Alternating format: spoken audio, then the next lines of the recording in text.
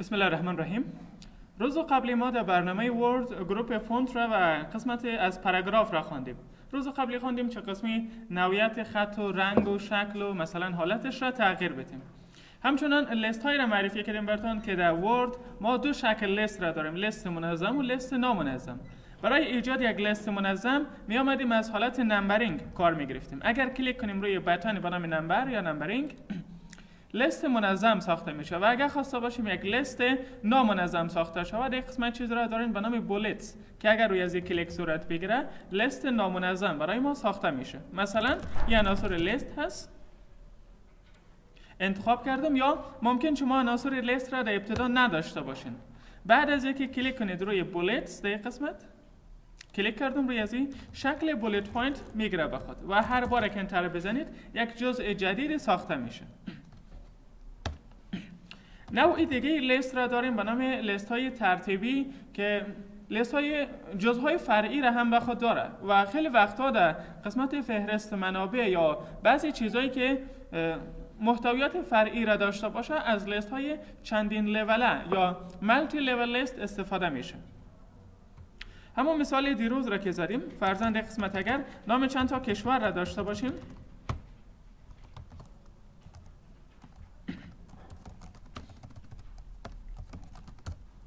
نام یک کشور را داریم و این هم مثلا باشه از نوع لیست. عنصر اول به محض که انتر بزنیم جزء دوم برای ما نمایش داده میشه.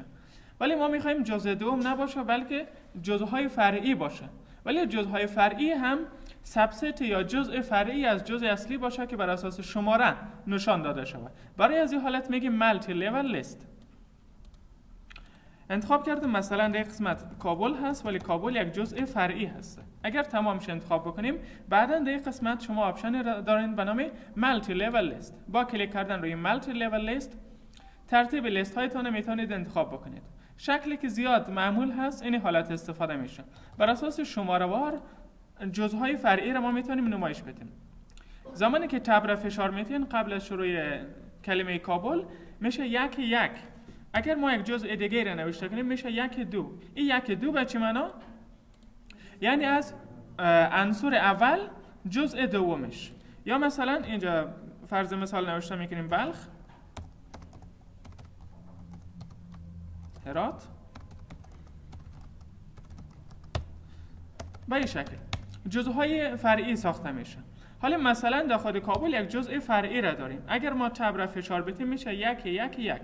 و این معنا که از جزء اصلی اول عنصر فرعی اول جزء اولش. مثلا کجا رو بانیم؟ دارلمان. باز یک یک دو.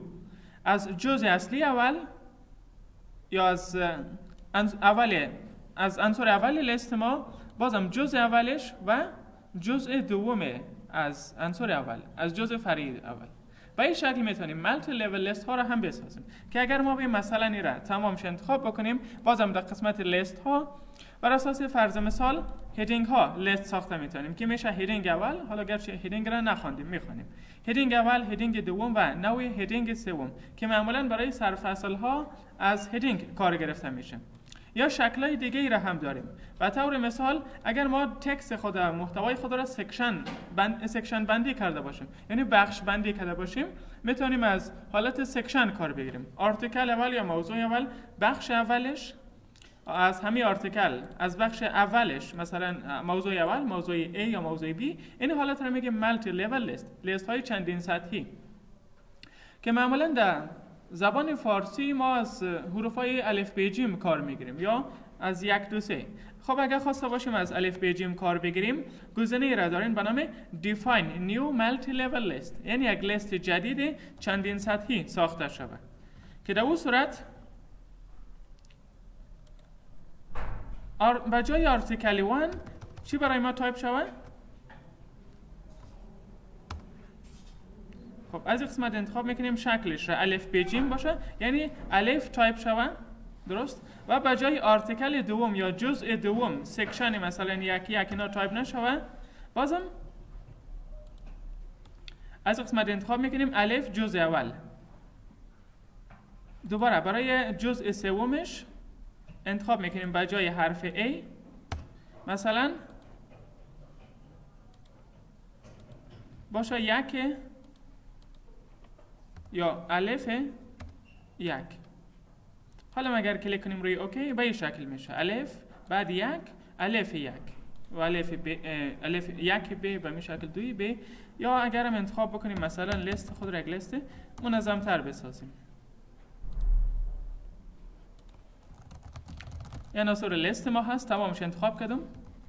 میم در قسمت ملتی لیول لیست در ابتدا به این شکل باشه. بعدا به جای اعداد می‌خوایم از حروف مثلا استفاده کنیم. کنترل A دوباره تمامش انتخاب کردم قسمت define new list level. در جزء دوم هست یک یک. مثلا در جزء اول میگیم به جای یک باشه الف. انتخاب می‌کنیم از از قسمت. شکل الف بجیم را و بعدیش هم به جای یک باشه ب یا الف بجیم بعدیش هم به این شکل به جای عدد از حروف کار گرفته شوه مثلا بعدیش هم به جای عدد از حروف کار گرفته شوه. حالا اگر ببینیم لست ما به این شکل ساخته میشه. جز الف الف الف الف ب الف ب الف و الف ب ب و مثلا الف بیت و الف الف بیت ت این شکل. یک لیست برای ما ساخته میشه. یعنی multilevel list را می‌تونیم به این طریق بسازیم. خب. زمانی که ما میم تکس را معمولا تکس انگلیسی را در روی صفحه نوشته می‌کنیم از طرف چپ نوشته میشه و به طرف راست. موقعیتش هم به طرف چپ هست. یکی در Word ما alignment داریم یکم direction alignment موقعیت تکس میشه که خود همین تکس در کجا باشه؟ مثلا به طرف چپ باشه یا راست باشه یا مثلا در وسط باشه. این میگیم alignment که برای از کار سه تا button یا سه تا گزینه هستن. alignment به طرف چپ وسط و هم به طرف راست. حالا اگر تکس خود ببینیم به طرف راست آمده. یا در وسط قرار داره یا هم طرف چپ قرار داره. مثلا انتخاب کردیم طرف در وسط باشه. بازم اگر ما تکس بنویسیم در ادامه ازی تکس ما از چپ به راست زیاد شده میره. بله میگم. تکس ما از چپ به راست زیاد شده میره درست است؟ این میگیم alignment موقعیتش در وسط است ولی ای که تکس از طرف چپ زیاد شده میره به طرف راست میگیم direction هست. یک تفاوت را داره که میره خیلی خوب است بفهمین. و خیلی وقتها زمانی که ما متنهای انگلیسی را با فارسی مکس می‌کنیم و مشکلاتی برمیخوریم. مثلا شما قرار است یک متن فارسی را بنویسین در بین یک کلمه انگلیسی استفاده کنید. اگر alignment و direction درست تعریف نکرده باشین متنتان گدود میشه. فعلا ما مثلا تعریف کردیم alignment به طرف چپ باشه یا این کارو می‌تونید از طرف از طریق shortcut control L هم انجام بدین. control L یا مخفف left به طرف چپ. control E center در وسط و control R هم طرف راست.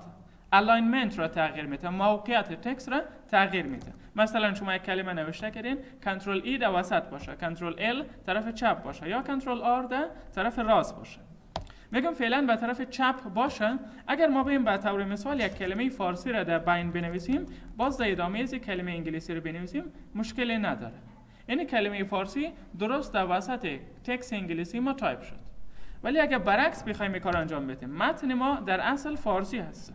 ما فقط آمدیم alignment را از اینجا تغییر میدیم. alignment یا جهت باشه طرف راست.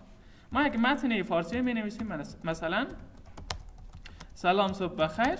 در این قسمت نیاز داریم یک کلمه انگلیسی استفاده کنیم. احمد. مشکل به وجود آورد. احمد آمد در شروع جمله.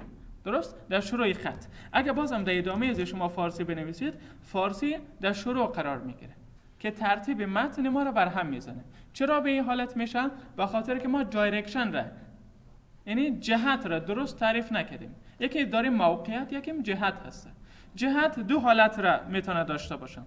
یا چپ به راست هست یا راست به چپ هست. Left to right برای زبانای استفاده میشه که در کل جهتشان چپ به راست باشه. مثلا انگلیسی فرانسوی اسپانیایی اینا کلا چپ به راست هست و زبان هایی که راست به چپ باشه مثلا فارسی پشتو و عربی اینا تماما چی هستن راست به چپ هستن. می‌تونیم انتخاب بکنیم direction ازی. Right to left باشه. زمانی که direction right to left تعریف کردین در اون صورت متنتان درست میشه. اگر ما بیم بازم مثلا فرق نمی‌کنه. alignment تان کجا باشه؟ طرف چپ یا راست یا هم وسط باشه؟ انتخاب کردیم فعلا طرف راست را alignment هم. direction هم طرف راست و چپ هست. direction راست و چپ و alignment هم طرف راست هست. متن فارسی را اگر حالی بخوایم بنویسیم درست نوشته میشه. مثلا سلام صبح بخیر. در از احمد. بعد از کلمه احمد ما فارسی می نویسیم مشکل نداره. ولی پیشتر به خاطر که direction ما right left to right بود یعنی چپ بر راست بود تکس فارسی به صورت غلط تایپ می شد اگر کلمه انگلیسی رو مثلا یا کلمه ای که از زبان راست چپ بر راست می بود در بین زبان راست و چپ می نوشتیم اشتباه می شد گدوت می شد. یا برعکسش اگر انگلیسی مثال بزنیم فعلا direction ما چی است؟ Right to left راست و چپ هست. یعنی شما باید متن از طرف راست و چپ بنویسیم برای زبان هایی که راست و چپ باشه. اگر حال ما به مثلا فقط alignment را موقعیت تغییر بدیم که به طرف چپ باشه بعد یک متن انگلیسی رو بنویسیم. hello در قسمت به نامش در فارسی می نویسیم احمد.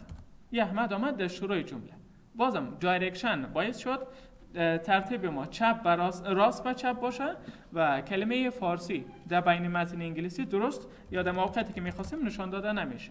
در حالی که می‌خواستیم احمد بعد از کلمه hello باشه و کلمه بعدی که نوشته کردیم مثلا بعد از احمد باشه. ولی او ترتیب را فعلا نداره. چرا؟ به خاطر که direction درست تعریف نکردیم. اگر متن خود انتخاب بکنیم و بگیم direction از right left to right باشه یا چپ به راست باشه در صورت درست نمایش میده. hello بعد احمد بعد مثلا تکس دیگه ما. واضح است برتون خوب؟ در کل زمانی که یک متن فارسی را می نویسین direction تان بگیرین right to left یا متن انگلیسی را می نویسین direction تان بگیرین left to right. این اولین بار یا اولین کاری که انجام میتین همین تعیین direction باشه یا جهت. alignment را هم بعدا میشه تغییر بدین. مثلا فعلا موقعیت تکس را که می نویسیم طرف چپ هست کنترل ای آورد وسط یا کنترل آر به طرف راست میاره. اگر ما بیم یک مقدار متن بیشتر را بنویسیم مثلا حدود 20 پاراگراف متن نوشتیم یک مقدار اندازه فونت خود را هم کوچکتر می‌سازیم. فعلا ببینیم خط اول ما تا به قسمت آمده خط دومی تا به قسمت خط سوم تا به اینجا خط چهارم هم که ختم پاراگراف ما هست. تا به قسمت آمده. پاراگراف بعدی خط اولش کمتر است دوم بیشتر شده سوم یکم بیشتر چهارم مثلا یکمی بیشتر. یعنی در کل خطهای ما منظم نیسته شما اگر کتاب ها را دیده باشین یا مجلات و روزنامه ها را دیده باشین تمام خطهای زنا با هم برابر است. از طریق چی کار صورت می‌گیره؟ جستیفای متنتان انتخاب بکنید.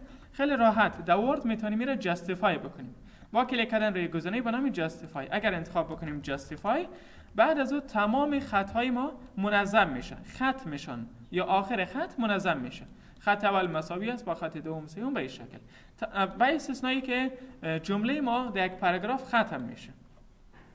دیگه خطا را اگر ببینید تماما منظم هست این میگه جستیفای که معمولا برای متنهای رسمی مثلا کتاب ها مجلات روزنامه ها از حالت justify استفاده میشه. Word version های جدید justify به چند حالت داره. اگر شما بازم روی button justify کلیک کنید justify low کمتر یا همون حالت نرمال justify هست. اگر کلیک کنید روی justify medium یک مقدار فاصله بین خط بین هر کلمه را بیشتر می‌سازه. یا بازم control A انتخاب کردم justify و justify high فاصله بین کلمات را بیشتر از او می‌سازه که در این صورت خیلی دقیق یا خیلی منظم justify میشه ولی فاصلهشان خیلی زیادتر هست. تقریبا در document های رسمی مثلا مقالات اینا از حالت justify low یا همون justify کار می‌گیره که هر دوی از یک اندازه هستن.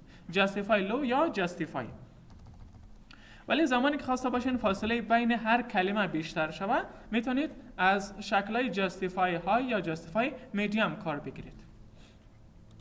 دیگه داریم فاصله بین خط ها را. بین هر خط ما چقدر فاصله داشته باشیم. که این کار را می‌تونید از طریق line height تعریف بکنید. گزینه هست به نام line height یا line and paragraph spacing فاصله بین خط ها به چی اندازه باشه؟ که بازم به صورت پیشفرض یک اعشاریه پنج یا معمولا کتابای یا متنهای انگلیسی را یک اعشاریه پانزده می‌گیرن. از این قسمت شما می‌تونید فاصله بین خطها و پاراگراف ها را تغییر بدین. تمام متن انتخاب کردم یک بار control A. اگر بیم در قسمت justify line height یا line and paragraph spacing بگیم یک باشه. فاصله بین خطها میشه یک واحد یا یک pt واحدش است. مخفف point اگر انتخاب بکنیم یک اشاره پانزه دو مثلا دو اشاره پنج سه به این شکل فاصله بین هر خط کم یا زیاد میشه. اگر استاد برتان کار خانگی داد که یک, یک صفحه متن نوشته کنید باید مقالتون یک صفحه باشه به این فاصله خطا را زیاد بکنید زودتر پر شود. از اینجا می‌تونیم فاصله بین خطها را کمتر یا بیشتر تعریف کنیم. که معمولا برای متنهای فارسی یک اشاره پنج می‌گیریم یک اشاره پنج. ولی متنهای انگلیسی معمولا یک اشاره پانزه هست یک اشاره پنج زیاده یا پانزه؟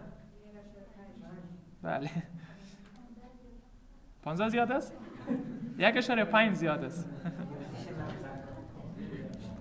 این بود فاصله بین خطها. اگر خواسته باشیم فاصله بین پاراگراف ها رو تغییر بدیم گرچه ما در قسمت option را داریم. به نام add space before paragraph اگر فاصله نداشته باشه قبل از شروع هر پاراگراف نوشته میشه یا برای ما نمایش داده میشه add space before paragraph.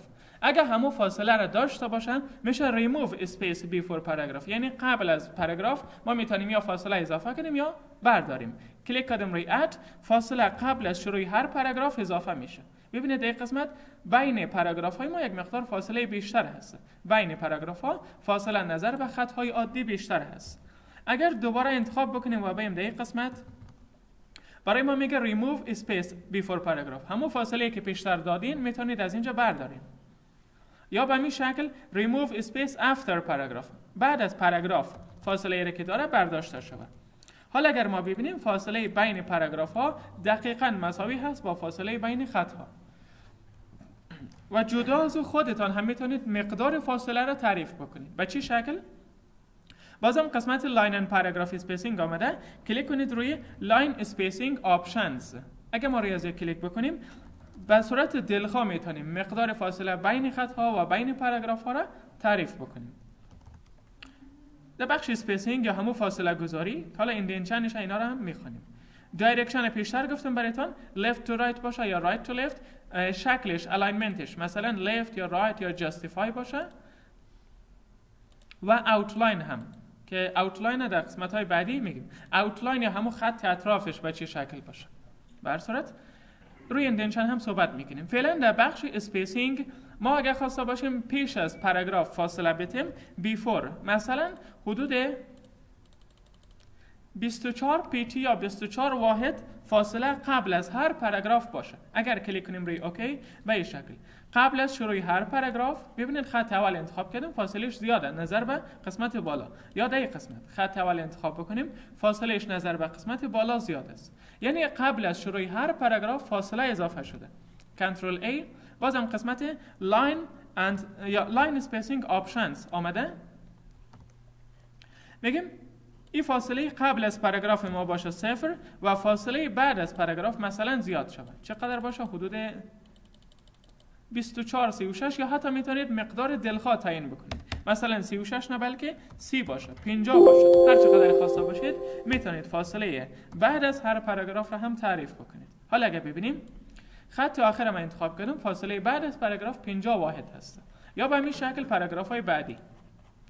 فاصله بین پاراگراف ها از طرف پایین شده 50 واحد. دوباره کنترل A میگم فاصله که بعد از پاراگراف ها وجود داره را صفر می‌سازیم یا هم اتومات باشه. شما اگر کم بسازین اتو یا اتومات میشه. بعد از صفر البته. به این شکل. که اتومات 6 پیتی یا 6 واحد هست حالا فاصله بعد از هر پاراگراف ما 6 پیتی یا 6 واحد به شکل اتومات هست و دیگه داریم فاصله بین خطها به چی اندازه باشه؟ از این قسمت می‌تونیم فاصله بین خطها را هم دلخواه تعیین بکنیم. مثلا باشه 5 یا فرض مثال 4 واحد 4 point. اگر انتخاب بکنیم 4 یا 5 فاصله بین خطهای ما میشه 5 واحد یا 5 point. دوباره Control A انتخاب کردم. میگم فاصلهش همون یک یا مثلا یک اشاره 15 باشه. واضح است براتون؟ چیز دیگه ای را داریم به نام اندنشن شاید در بعض کتاب ها متوجه شده باشین یک پاراگراف را یا مثلا نقل قول یا گفتار کسی را یک مقدار پیشتر قرار میده. نظر به دیگه متن ها کنترل A رند حدود پنج پاراگراف متن را داریم. فرض مثال این مقدار تکسی که در اینجا هست گفتار یک کسی هست نقل قول هست. معمولا نقل قول ها را یا یک پاراگراف فرعی از یک پاراگراف را یک مقدار پیشتر قرار میده. گرچه ما در فارسی قانون را داریم گرچه در انگلیسی هم داریم. شروع پاراگراف ما از خط اول یک مقدار فاصله بگیره پیشتر قرار داشته باشه. ولی جدا از اگه خواسته باشیم تمام همین پاراگراف یک چیز پیشتر قرار بگیره. بر از می‌تونیم اندنت تعریف بکنیم. اندنت میشه فاصله قبل از پاراگراف یا فاصله که از طرف راست به خود می‌گیره. یعنی در کل بگیم فاصله که بیش از مقدار margin یا حاشیه به خود می‌گیره از طرف چپ و راست. این برش میگیم indentation یا indent فاصله داخلی برش گفته میشه. margin یا مقدار حاشیه فاصله بیرونی هست indent فاصله داخلی هست درست؟ خب در این قسمت ما می‌تونیم مقدار indent را با استفاده از دو تا گزینه کم یا زیاد بکنیم. اگر کلیک کنیم روی increase indent فاصله ها زیادتر میشه دوباره increase indent. و یا اگر کلیک کنیم روی decrease indent همون فاصله کم میشه. گرچه ما تنهایی دو کار را می‌تونیم کم و زیاد مقدار indent را از طریق از دو تا button انجام بدیم. ولی اگر خواسته باشیم به صورت دلخواه همون مقدار indent یا فاصله را تعریف بکنیم بازم شما می‌تونید بین روی line and line spacing option یا راحتتر کلیک کنید روی از دکمه. paragraph setting. و از قسمت مقدار indent را میشه تعریف بکنیم. کمتر باشه یا زیادتر؟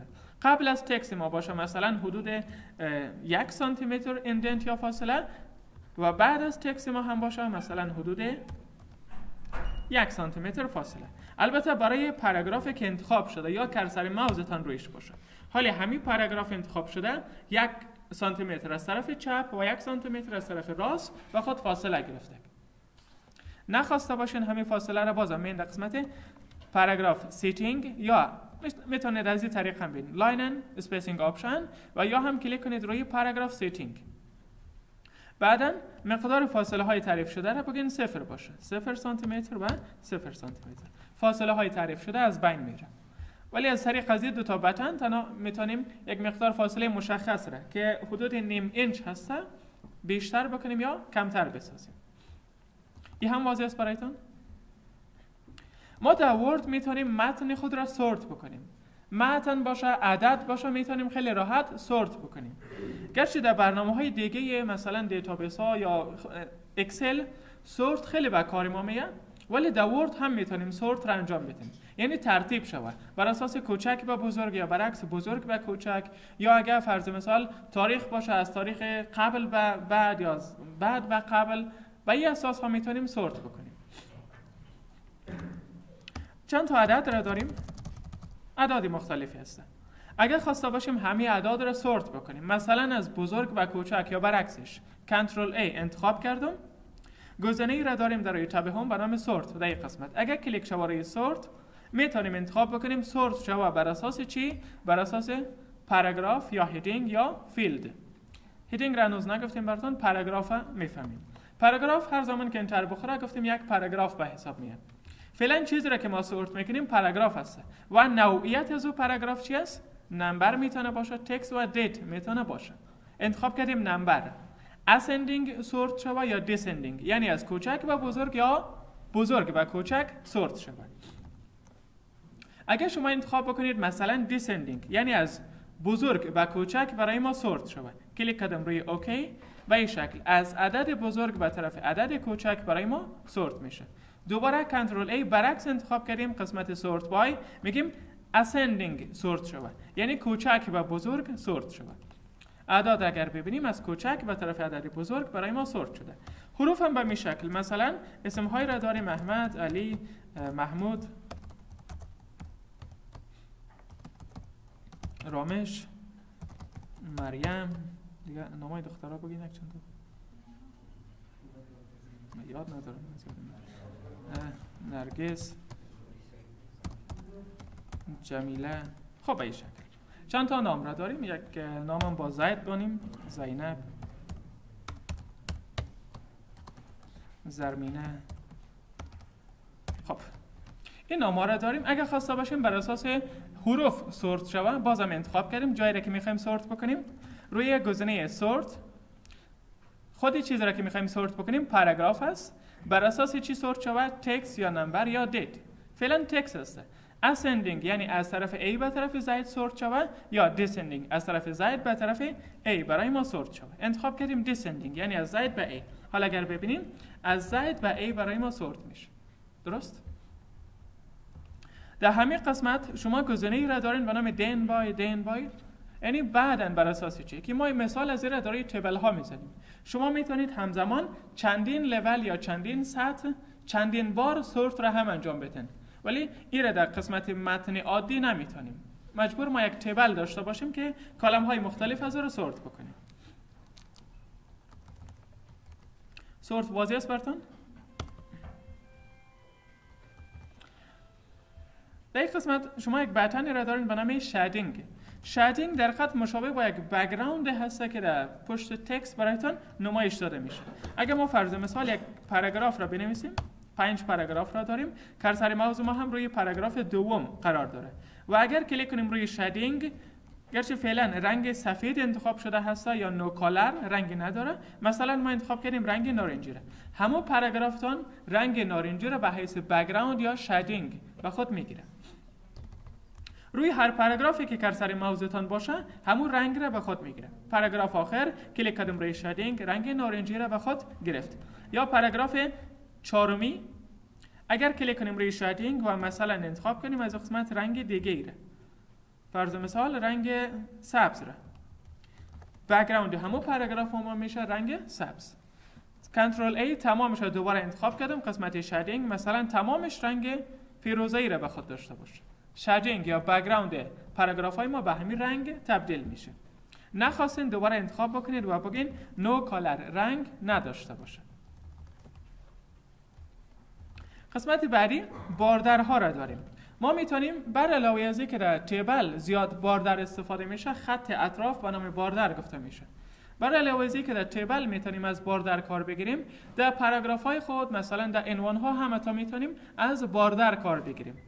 مثلا در این قسمت شما کلمه ویدیو را دارین و این خود ویدیو فرض بگیرین عنوان هسته. بولد و در وسط هم باشه. خود کلمه ویدیو عنوان هست ما می‌خوایم طرف پایین از یک خط ایجاد شود. یا بالا یا چهار طرفش باشه. انتخاب کردیم کلمه ویدیو را یا cursor mouse تان باید روی ازی باشه. قسمت border اگر شما کلیک کنید یکی دارین bottom border top left right یعنی هر طرف را جدا جدا هم می‌تونید border تعریف بکنید برش. فرض مثال گرفتیم right طرف راست از همو پاراگراف یا از همو text border ایجاد میشه یک خط ایجاد شده در قسمت. یا بازم اگر انتخاب بکنیم text خود یا ممکن cursor mouse رویش باشه. فرض مثال میگیم طرف تاپ یا بالای از هم باردر داشته باشه بخواد می‌تونیم بگیم آل باردر یعنی هر چهار طرف از این باردر داشته باشه به این شکل. اگر نخواسته باشین می‌تونیم بگیم نو باردر. هیچ طرف از این باردر نداشته باشه. شکلای دیگه ای را که داریم در قسمت باردر outside border, inside border یا inside horizontal, inside vertical اینا برای تیبل های استفاده میشه. زمانی که ما رسیدیم روی تب insert و موضوع تیبل جزئیات بیشتر را در قسمت تیبل ها و باردر ها برایتان میگم. باردر داخلی چی است؟ باردر بیرونی اینا چی هستن؟ ولی فعلا برای یک متن عادی یا یک تکست می‌تونیم از باردر بیرونی کار بگیریم. Outside باردر هر چهار طرفش یا همو اطراف از یه باردر داشته باشه. حالت آل باردر هم به می شکل است. آل باردر یعنی هر چهار طرف border داشته باشه. اگه مشخصا خواستین یک طرف از این نداشته باشه border مثلا طرف بالا top و border غیر فعال ساختم حال سه طرف border داره طرف بالا نداره یا برعکسش. مطابقه گزینه هایی که در روی border قرار داره را بخش table می‌خوانیم. دیگه دارین چیزی را به نام paragraph point. اگر شما گزینه paragraph sign را بخشین paragraph sign را فعال بمانید ختم هر پاراگرافتان یک همچین علامت را برایتان نشان میده. فرق نمی‌کنه. این پاراگرافتان یک کلمه باشه یک جمله باشه یک حرف باشه. ختم هر پاراگراف همون علامت پاراگراف ساین برایتان نشان داده میشه. اگر خواستین دوباره کلیک کنید روی زی غیر فعال شود فقط برایتان نشان میده که پاراگراف در کجا ختم شده. یعنی ختم یک پاراگراف یا می‌تونید حساب بکنید تعداد پاراگراف ها از طریق همو paragraph sign. کلیک کردیم روی زی غیر فعال شد و دوباره کلیک کردیم فعال شد. اصل استفاده از در قسمت مقالات علمی هسته چون اونا معمولا index میشه یعنی شاخص بندی میشه یا بر اساس هر پاراگراف شماره گذاری میشه در صورت می‌تونیم از paragraph sign استفاده کنیم. که بازم استفاده های از در قسمت reference زمانی که شما رسیدین موضوع مار... citation و موضوعات مثلا caption اینا را خواندیم. به قسمت ها استفاده براتون بیشتر میگم دوباره روی tab هم نمی‌خوایم فعلا paragraph sign باشه کلیک کنید رویش تا غیر فعال شود. قسمت بعدی یک سری استایل های را داریم. استایل های از قبل ساخته شده یا از قبل موجود در خود برنامه Word. اگر خواسته باشیم از همچین حالت یا استایل کار بگیریم بازم داریم حدود 20 پاراگراف متن را. یک مقدار بزرگتر هم باشه 14 20 پاراگراف متن را داریم که تمامشان یکسان هستند. فقط اندازه متن را خود ما تغییر داریم. 14 نوعیت خط کالیبری رنگش سیاه چیزایی هست که پیش فرض در برنامه ورد تعریف شده. ما می‌تونیم از طریق استایل های ساخته شده یا از قبل موجود در برنامه ورد استفاده کنیم و استایل تکست خود را تغییر بدیم. فرض مثال خود کلمه video provides a powerful یک عنوان هست. درست؟ عنوان هست.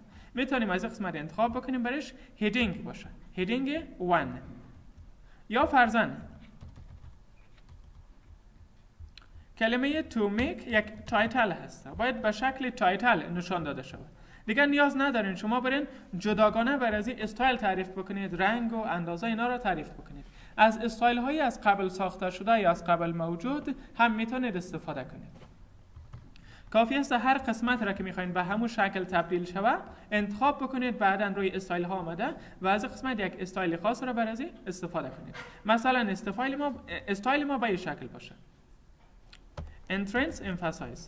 حالت italic هست italic ی که bold هم هست یک استایل ساخته شده هست. می‌تونیم از این کار بگیریم. یا مثلا پاراگراف دیگه را انتخاب کردم بازم در قسمت استایل ها میگم استایلش به این شکل باشه. subtle reference مثل که یک جزء فرعی یا یک پاراگراف فرعی باشه.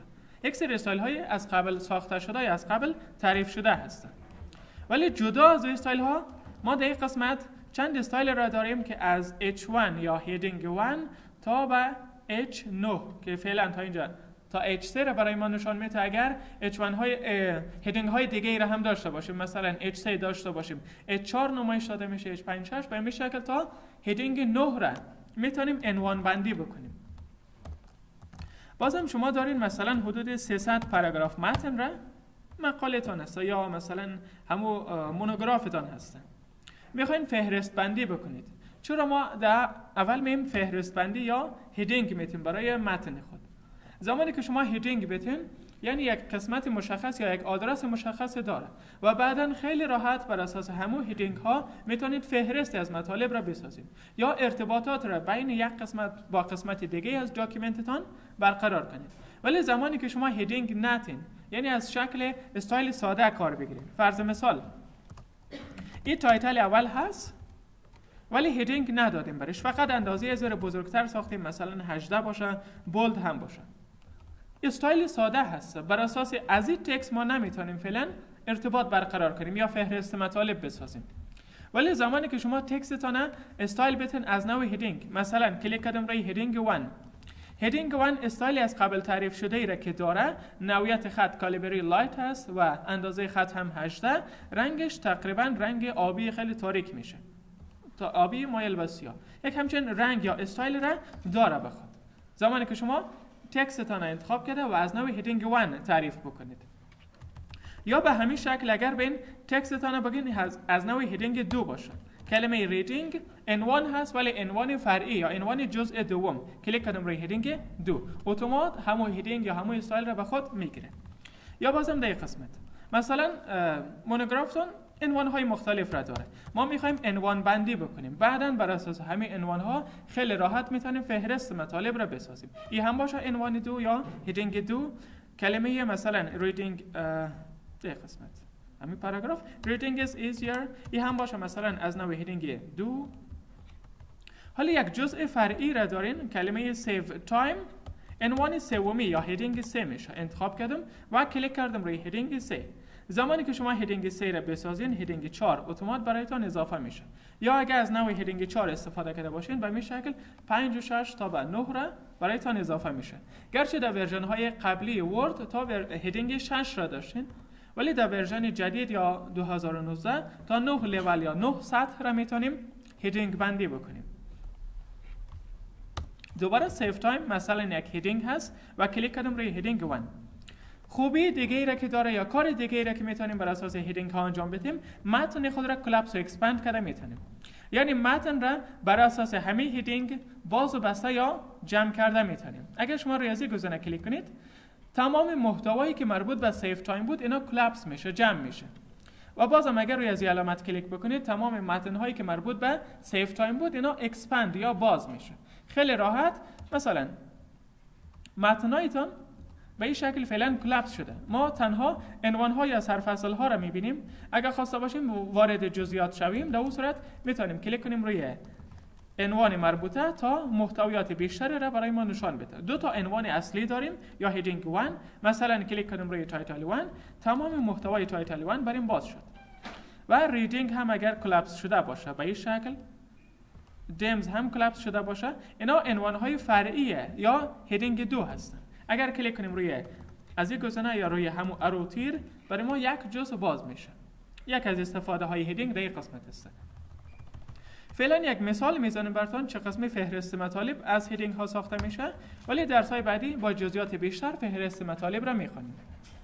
اگر ما بریم روی tab reference بعدا قسمت table of content کلیک بکنیم دیگر نیاز نیست. مثلا ما شماره صفحه بر تعریف بکنیم خود text را تعریف بکنیم. ای که عنوان به چی بود؟ در کدام صفحه قرار داشت؟ دیگر این کار را نیاز نداریم انجام بدیم. چون یک بار ما heading بندی کردیم یعنی فهرست ها را تعریف کردیم در قسمت خیلی راحت فهرست مطالب ساخته میشه. فرض مثال title دو در صفحه دو هست reading در صفحه دو هست save time در صفحه سه هست. سیف تایم بعدی در صفحه 3 هست. به این شکل خیلی راحت فهرست مطالب ساخته میشه. و دیگه ما نیاز نداریم که دانه به دانه بر اساس شماره های صفحه بریم فهرست بندی بکنیم.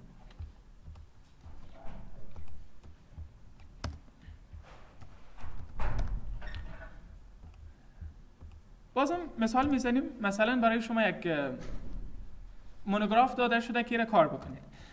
و گفته شده که از کدام نوعیت خط از کدام اندازه خط از کدام رنگ خط استفاده صورت بگیره.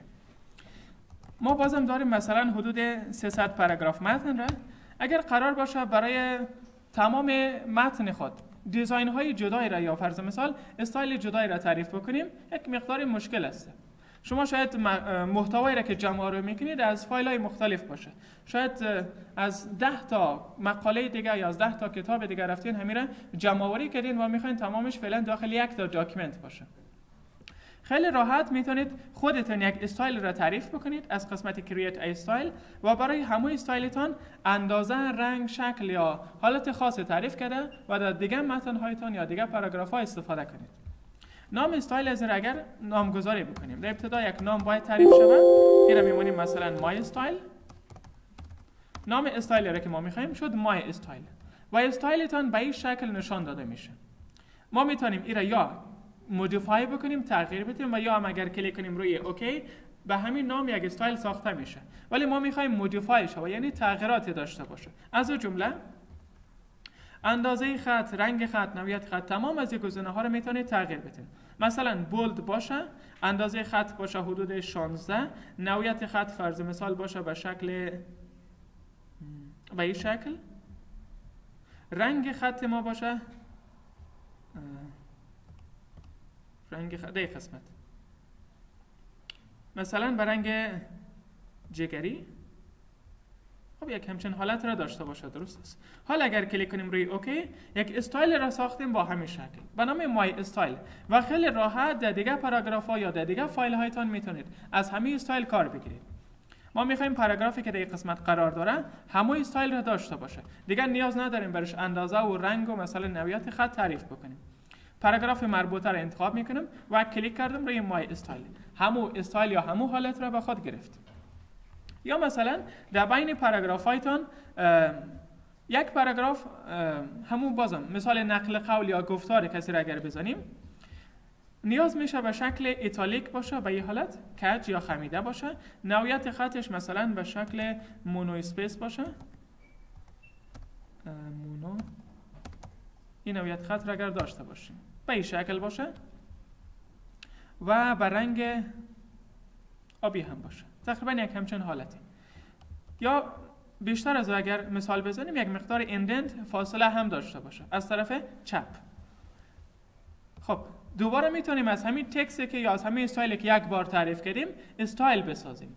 استایل از استایل از ذخیره بکنیم. روی استایل ها آمده کلیک می‌کنیم روی create style یک استایل جدید ساخته شود و نامی چی؟ مثلا second style second style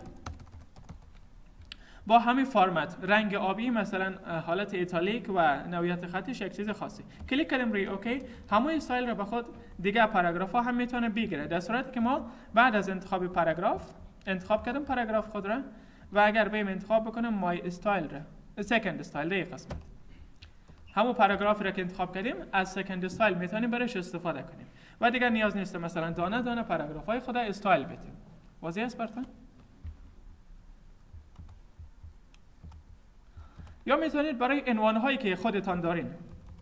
بازم خیلی عنوان ها ممکن در همین document نیاز شود. مثلا در این قسمت title سوم هست.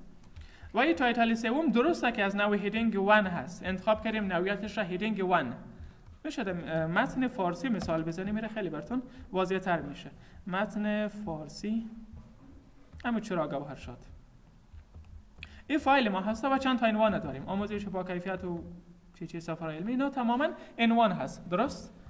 و اگر خواسته باشیم تمام عنوان های ما یک دفعه تغییر بکنه یا یک عنوان را تعریف بکنیم تا همیشه از همون حالت استفاده کنیم. برای علاوه از که خود Word چیز را داره به نام heading 1 heading 2 یا مثلا heading 3 خود ما هم یک heading را تعریف می‌کنیم. برایش heading نه مثلا نام میمونیم title 1 title 2 یکی خاصیت indexing را هم داشته باشه یعنی index شوه به صورت نوعیت heading تبدیل شوه و یک استایل جدایی را هم داشته باشه. انتخاب کردیم مثلا سفرهای علمی را از نوع heading باشه و بر علاوه از اگر خود ما یک سری استایل دیگه ای را تعریف بکنیم. از نوع heading 1 هست درست؟ رنگش به رنگ مثلا جگری باشه از این و بعد. تکس ما bold باشه نوعیت خط. فرض مثال بی تیتر باشه. همین چند خاصیت را داشته باشه. حالی اگر خواسته باشیم دوباره قسمت استایل ها آمده. کلیک کنیم روی create style نام استایلتان باشه مثلا title یک. title یک. OK با نام title یک ما یک استایل ساختیم. در عنوان های دیگه هم می‌تونیم از او کار بگیریم. مثلا در قسمت یک عنوان داریم. این عنوان ما گرچه از نوع heading 1 نیسته اگر ما بیم دوباره کلیک کنیم روی heading 1 تا از نوع heading شود و در قسمت فهرست مطالب شناخته شود باز نیاز داریم استایل تعریف بکنیم برش رنگ و مثلا اندازه خط و نوعیت خط. ما چی کار کرده بودیم؟ برای همو عنوانی که پیشتر استایل ساختیم می‌تونیم از او کار بگیریم. چون او را به نام style title 1 ذخیره کردیم. حالا اگر روی از ما کلیک بکنیم استایل را داره به نام title 1 و این title 1 ما خاصیت heading را هم داره. یعنی اگر فهرست مطالب بسازیم چون در ابتدایش از نوع heading 1 بود فعلا هم از نوع heading هست یعنی از نوع فهرست هست و هم یک استایل خاص را به خود داره. درست؟ یعنی همون خاصیت مثلا collapse و expand را داره. می‌تونید متن بر اساس همین عنوان collapse یا expand بکنید. و می‌تونید بر اساس همین فهرست بسازید این کارا رو می‌تونید بر اساس استایلی که خودتون هم تعریف کردین استفاده کنید. در قسمت option دیگه ای را داریم به نام clear formatting که دقیقا option ی است اینجا داشتیم. اگر ما یک پاراگراف را یا مثلا یک text را انتخاب بکنیم و کلیک کنیم روی clear formatting فرمت تعریف شده از روی همون text برداشته میشه و تماما برمیگرده به حالت اولیه که اندازه خط 11 هست نوعیت خط Arial برای متنهای فارسی و Calibri برای متنهای انگلیسی. Control Z گزینه ای را داریم به نام apply style. از طریق apply style شما استایل هایی را که قبل از قبل تعریف کردین یا خود Word همون استایل ها را داره می‌تونید استفاده کنید و یک استایل را برای متن تعریف بکنید. مثلا در این قسمت cursor موضوع قرار دادم اگر به روی استایل ها بیشتر از استایل هایی را هم داریم. کلیک کنیم روی Apply Styles لیست تمام استایل هایی را که ما در برنامه ورد داریم در اینجا می‌بینیم. کلیک کنید روی از گزینه. لیست زیاد از استایل ها هست. که البته اکثریت از اینا استایل هایی برای table هستند ولی بعضیشان برای تکس و برای عنوان ها هستند می‌تونید از این استایل ها هم کار بگیرید. فرض مثال انتخاب کردم و میگم از نوع title باشه. استایلی که خود ما تعریف کرده بودیم به این شکل نه از ما title 1 بود. این تنها title است. یا مثلا از اینجا می‌گیریم title 1 استایلی که خود ما تعریف کرده بودیم. یا جدا از او فرض مثال انتخاب می‌کنیم و استایلش باشه به این شکل. Plain Table 3 شکل table به خود می‌گیره. مرکز در یک column قرار گرفت یک cell کاریابی به یک cell دیگه که این کار را می‌تونید از طریق بعضی استایل هایی که مخصوص table ها هست هم انجام بدید. واضح از قسمت استایل برایتان؟ دیگه داریم group را به نام Editing که شما با استفاده از group Editing خیلی به راحتی می‌تونید یک کلمه را پیدا بکنید یک کلمه ای را جایگزین کلمه دیگه بسازین و یا یک آدرس مشخص برین خیلی وقتا نیاز میشه ما یک کلمه ای را می‌خوایم پیدا بکنیم. خیلی وقتا شده. شما در بین یک پاراگراف در بین یک متن یک کلمه ای را باید پیدا بکنید. اگر قرار باشه خط به خط متنتان را بخونید که خیلی وقتگیر هست. او هم خصوصا در متنهای زیاد. ولی با استفاده از گزینه find کلیک کنید روی گزینه find. خیلی به راحتی می‌تونید یک کلمه را پیدا کنید. مثلا ما می‌خوایم پیدا شود گوهرشاد. در قسمت تایپ کردم گوهرشاد هر چقدر گوهرشادی که باشه برای ما نشانی میشه به حالت. که در کل 29 تا کلمه گوهرشاد پیدا کرده در بین متن ها و شما می‌تونید از اینجا روی همو کلمات هم کلیک بکنید و کلمه مورد نظر برایتان انتخاب شود یا با استفاده از گزینه های اپ و داون بالا و پایین. برین روی سلکت های بعدی یا انتخاب شده های بعدی کلمه گوهرشاد را ببینید. این شکل فایند یا جز پیدا کردن به صورت عادی بود ساده. ولی زمانی که یک متن انگلیسی معمولا متنایی که بر اساس یک کلمه مشخص بر اساس مثلا حروف خرد و بزرگ یا حالت های اختصاصی تر بخوایم یک کلمه را پیدا بکنیم در اون صورت می‌تونیم از Advanced Find کار بگیریم. گزینه هست با نام Advanced Find. شما اگر روی arrow یا تیر کلیک بکنید Advanced Find بازم برای ما پیدا شد مثلا چی؟ مثلا کلمه document. Document. این document ی که پیدا میشه چه خصوصیات دیگه را داشته باشه؟ کلیک کنید روی گزینه More خیلی جزئیات بیشتر را می‌بینید. مثلا Match case فعال باشه. و چی معنا؟ یعنی حروفی را که ما دقیقا در قسمت تایپ کردیم با همون حروف مطابقت بکنه. اگر بزرگ بود بزرگ اگر کوچک بود کوچک. یک بار خوب است ببینید. من کلیک می‌کنم روی find next پیدا کرد یک تا document را با حروف کوچک. document بعدی با حروف کوچک. و بازم document بعدی چیزی که در شروع باشه مثلا کلمه reading را داشتیم. reading جستجو می‌کنیم در این قسمت؟ reading برای ما یک تا reading پیدا کرد که با حرف R کوچک شروع شده. اگر ما در این قسمت تعریف بکنیم مثلا reading را پیدا کنه که با حرف R بزرگ است. چون Match case فعال هست باید حروفش مطابقت کنه. کلیک کردم روی Find Next reading را پیدا می‌کنه که R ش بزرگ است. آیا می‌تونه reading هایی که با R کوچک هست پیدا بکنه؟ نه خیر. reading بعدی هم R ش بزرگ است به شکل reading بعدی هم در قسمت بالا R ش بزرگ است. یعنی تمام reading هایی که پیدا می‌کنه با R بزرگ پیدا می‌کنه چرا که Match case فعال هست. یا اگر شما بگیرین find whole word only این چه کار می‌کنه؟ ما می‌خوایم در قسمت جستجو کنیم مثلا کلمه یک کلمه ترکیبی اگه باشه.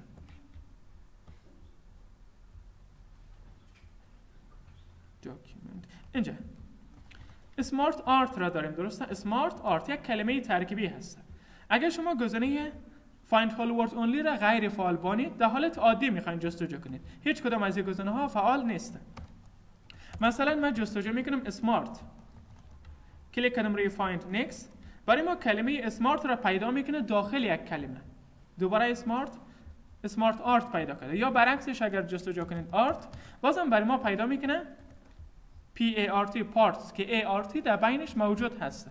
ولی ما می‌خوایم دقیقا کلمه پیدا شود کلمه کامل باشه با حرف A R T اگر موجود باشه برای ما پیدا کرده می‌تونه که همچین کلمه ای را نداریم. یعنی کلمه ای نیست در بین همین متن که ای آر تی جدا باشه. گزینه یوز وایلد کارت را اگر شما فعال بانید. وایلد کارت در انگلیسی داریم حروفایی که با هم مطابقت بکنه. مثلا شما دارین رن با آر ای ان و رن با آر یو ان هر دوی از از لحاظ بخشن بخشن چیز نه. زمانی که وایلد کارت فعال باشه بعضی کلمات از لحاظ spell خود یکی هست از لحاظ spell یکی هست ولی در جمله در نظر به کاربردش متفاوت هست اگر همچون کلمات رو دارین میشه در قسمت مثال بزنیم. یعنی کلمات انگلیسی که از لحاظ spell یکی باشه ولی از لحاظ معنا یا از لحاظ کاربرد متفاوت باشه. در اون صورت می‌تونید شما گزینه wildcard رو فعال کنید و نظر به یک کلمه خاصی را جستجو کنید. Sounds like English اگر فعال باشه براتون تنها کلمات پیدا میشه که کلمات با spell مختلف ولی نظر به تلفظش یکسان باشه. مثلا ما ran را با R A N هم داریم با R U N هم داریم. یا میشه همچنین مثال های دیگه را بزنید که از لحاظ spell متفاوت باشه ولی از لحاظ تلفظ یکی باشه. در اون صورت همون کلمات پیدا میشه که از لحاظ spell یکی است از لحاظ تلفظ مختلف هستند Find all word forms English. تمام فرمت های از word مثلا شکل noun شکل adjective شکل verb ش البته از همون کلمه. شما مثلا جستجو کردین کلمه چی بانیم؟ play خود play چی است verb هست درسته؟ ممکن است همین کلمه اگر گزینه find all word forms را فعال بانید شکل نونش استفاده شده باشه هم پیدا کرده می‌تونه. اگر شکل مثلا adjectiveش استفاده شده باشه هم پیدا کرده می‌تونه. شکل وربش که خود پلی هسته یعنی حالت های دیگه ای از کلمات انگلیسی رو هم می‌تونه پیدا بکنه. در صورت که شما از این گزینه ها استفاده کنید. و چند گزینه دیگه را داریم که برای متنهای عربی معمولا استفاده میشه. مچ کشیده همون الف کشیده یا مد کشیده ایره که برای حروف فارسی استفاده می‌کنید. اگر این گزینه را فعال بانید مثلا شما میمانید جستجو می‌کنید آمد با الف میم دال و جستجو می‌کنید با آمد با الف مد میم دال. در صورت که گزینه کشیده فعال باشه تنها آمدی پیدا میشه که فعلا در قسمت جستجو کردید مثلا ما جستجو می‌کنیم آمد را با الف همزه الف مدار درسته؟ مدار match کشیده فعال هسته و دقیقا به این شکل آمده برای ما پیدا کرده می‌تونه. یا اگر جستجو کنیم الف میم دال یک گزینه غیر فعال باشه. هم الف میم دال پیدا می‌کنه و هم الف مد میم دال را می‌تونه پیدا کنه به این شکل الف همزه و diacritics و control characters اینا چیزایی هستن که در عربی ما استفاده می‌کنیم. در صورت که فعال بانیم میشه از این گزینه ها کار بگیریم و دقیقا همون کلمه مورد نظر پیدا کنیم. ولی replace چی است می‌تونیم یک کلمه را جایگزین کلمه دیگه بسازیم بازم به همین شکل. کلیک کنید روی گزینه replace ما می‌خوایم یک کلمه جایگزین کلمه دیگه شه خیلی وقتا میشه شما می‌خواین یک کلمه جایگزین شما با کلمه دیگه. فرضاً یک CV رو نوشته کردین برای یک محصل مرد. حالا می‌خواین از همون کاپیش استفاده کنید ولی برای محصل زن باشه. اگر دانه به دانه برین کلمات هی رو تبدیل بکنید به شی یا برعکسش یا فرضاً نامش رو تبدیل کنید یک مقدار وقتگیر هسته ما میگیم در همین جا هر چقدر کلمه وی اگر داریم تبدیل شو مثلا به چی؟ به یو. درست؟ هر چقدر کلمه وی اگر داشته باشیم این تبدیل شو به یو کلمه ای را که می‌خواین پیدا شود در قسمت بالا تایپ بکنید و کلمه جدید را که می‌خواین جایگزین از شود در قسمت پایین تایپ بکنید و اگر کلیک کنیم بازم روی find next که we نداریم یا مثال از چیز می‌زنیم. you you داریم. ما در قسمت کلمات you را در ابتدا جستجو می‌کنیم و ای you تبدیل شود مثلا با کلمه we کلیک کردم روی find next یک تا we بریم پیدا میشه. در قسمت you you و به این شکل. چندین تا you پیدا شد. حالی ما می‌خوایم کلمات پیدا شده جاگزین شود. اگر کلیک کنیم روی replace کلمه ای که فعلا انتخاب شده you تنها همو کلمه replace میشه. جایگزین شد با we و you ی بعدی انتخاب میشه. بازم replace ای تبدیل شد به we و you ی بعدی انتخاب میشه. میشه چرا؟ اگر خواسته باشیم تمام از او کلمات replace all شوه یا جایگزین شوه کلیک می‌کنیم روی replace all که در او صورت 678 تا کلمه you را تبدیل کرد به we. یا گرچه در این متن هیوشی از اینا نداریم اگر همچون کلمات باشه یا یک اسم خاصی باشه می‌تونیم به اساس replace بکنیم. که بازم در قسمت replacement یک سری چیزای نیاز است. مثلا شما ممکن در بین متنتان you داشته باشین به صورت ترکیبی. فعلا هم اگه ما جستجو بکنیم you Y O U. در صورت که گزینه find whole word only فعال نباشه. Find next. در اینجا پیدا تانست برای ما ولی یو نیست یو هست. اما در ترکیب خود وای او یو را داره. درست؟ اگر حال مثلا کلیک کنیم روی replace all تمام کلماتی که در بین خود حتی y او u داره جایگزین میشه. ولی شما باید از این قسمت انتخاب بکنید که کدام حالت ها ریپلیس شود. تنها کلمه جایگزین شود که مثلا حرف کامل هست یا اگر یک گزینه را نمی‌خواستین نیاز نبود غیر فعال بانید حالا اگر کلیک کنیم روی ریپلیس آل بازم حدود 24 تا کلمه یو که وای او یو در ترکیب خود داشتن. ممکن یو باشه یا ممکن چیزای دیگه ای باشه. جایگزین شد با W و E. که حالا اگر 320 تا باشه. 24 تا نه؟ در بین اگر ما مثلا جستجو بکنیم یوار هایی که تبدیل شده به ویر اینا. یک اشتباه با وجود میاد بین متن. قبلا بود یوار فعلا وای او یو از تبدیل شد به وی ای و در ادامه از آر. کی اشتباه هست و می خاطر اگر خواسته باشیم کلمه را درست جابجا جا بکنیم یا جایگزین بکنیم با کلمه دیگه در اون صورت نیاز داریم مثلا حالت find whole word only فعال باشه. یا اگر خواستین دقیقا بر اساس حروفش جابجا شود بر اساس نوعیت حروف کوچک بزرگش میشه گزینه مچ کیس را هم فعال کنیم یا حالت های دیگه را هم اگر نیاز باشه. واضح است برایتان؟ ادامهش باشه برای فردا. جای سوال هست؟